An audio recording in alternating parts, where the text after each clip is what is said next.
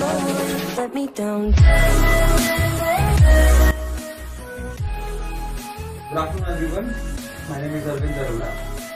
आज मैं आपको 4x4 डेट ऑफ़ बर्थ का मैजिक स्क्वायर कैसे बनाते हैं, वो बताऊँगा।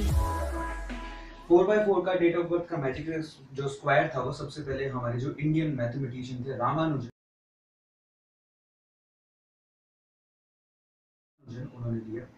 और उन्होंने अपनी डेट ऑफ़ बर्थ के थ्रू ये समझाया कि 4x4 का मैजिक स्क्वायर किस तरह से दे और उन्होंने कुछ मौके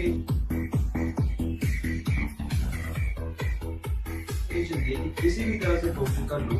ओवरऑल जितना आपकी डेट ऑफ़ बर्थ का टोटल आता है, उतना ही निकलता सो हम देखते हैं कि डेट ऑफ़ बर्थ बनाने का लॉजिक क्या है, मैंने यहाँ पे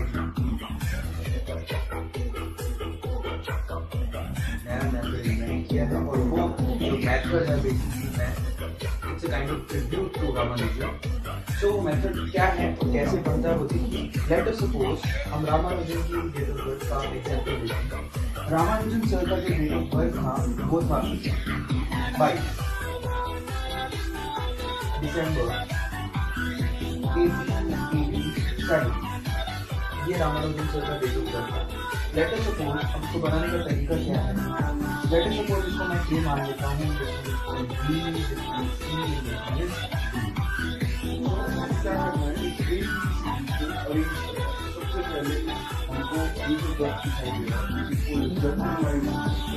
हमको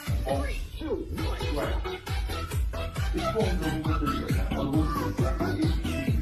यहाँ पे डेट ऑफ़ बर्थ है बी यहाँ पे मंथ है यहाँ पर ईयर का पहली जो डेट दो डिजिट है वो और यहाँ पर लास्ट वाली डिजिट तो